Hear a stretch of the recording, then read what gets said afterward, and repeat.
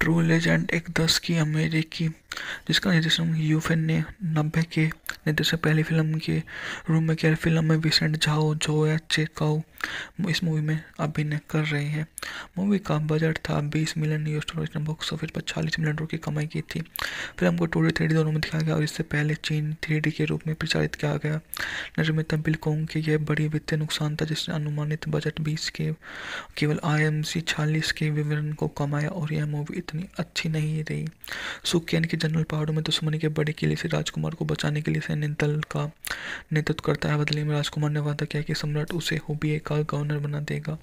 सू का सुतला भाई युवान ईसा करता है, लेकिन उसे सू से प्यार करती है। राजकुमार ने युवान को गवर्नर बनने के लिए कहती है, सुमान, सेना छोड़ना चाहता है वो सू की पूर्णता के लिए जीवन जीना चाहता है। अंत में अपने स्कूल शुरू करने के लिए अपनी कौशल सीखने की उम्मीद में वे अपनी बड़ी ब्रिटिश तलवार कॉमरेड माँ को देता है। फिर युवान को अपनी योजना के बारे में बताता है। युवान ने व्यक्त किया कि उसे हमेशा सू की छाए लेकिन गवर्नरशिप स्वीकार करता है। अगली सुबह सो, घोड़े पर सोए, सो सुहार निकल जाती है। पाँच साल बाद सो अपनी पत्नी का बच्चा हुआ फेंग सू के पिता ने सूचित किया कि युवान सेना के गवर्नर बनने के लिए लौट रहा है। सू को चेतावनी देता है कि युवान केवल परिवार के साथ मेल मिलाप करने के लिए नहीं, बल्कि बदला लेने के लिए वापस आएगा। इसलिए, चूँकि वर्षों से पहले सू के पिता ने युवान के पिता की हत्या कर दी थी, अब युवान फाइनम वेनम फिस्टम नामक एक दृष्ट मालिक आठ तकनीकी सीखने में बहुत आगे निकल गया है। सू के पिता युवान ने अपने साथ ले गए, लेकिन उन्हें चिंता है कि युवान अभी भी प्रतिशोधी है सू भला अपने पिता को आश्वासन देता है कि सब कुछ ठीक हो जाएगा।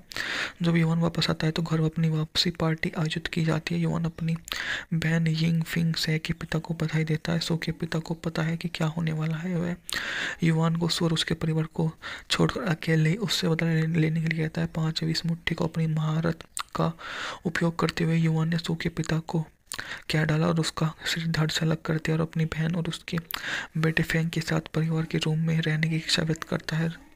जब सो को अपने पिता की हत्या की खबर मिलती है तो वह अपने पिता की मृत्यु के स्थान पर पहुँचता और आयरन ट्विंस पर हमला कर दिया जाता है वह तेज़ी से वहाँ से निकल जाता है।